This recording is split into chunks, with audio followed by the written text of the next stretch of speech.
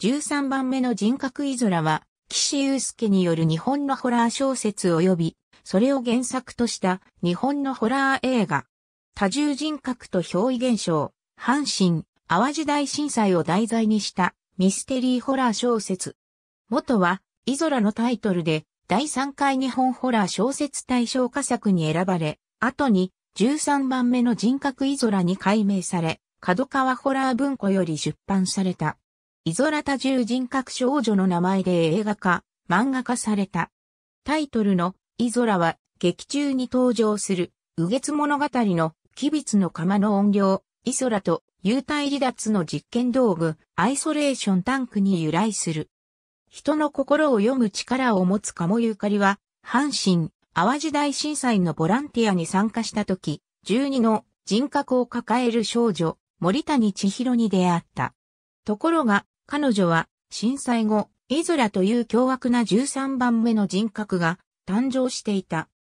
ボランティアメンバーの青木から彼女を紹介されたゆかりは、自分の手に余る事態のため、明日工学院高等学校の常勤の臨床心理士である野村博子に委ねることにした。その後、千尋に日常的な虐待を加えていた非常なおじは謎の不審死を遂げる。街では彼女に関わった人間は不審な死を遂げる事件が相次いでいた。平成8年4月25日初版、角川ホラー文庫によって刊行。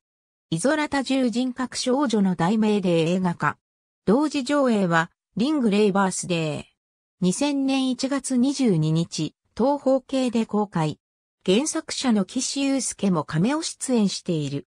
日本の映画作品として初めて、阪神、淡路大震災を題材としている。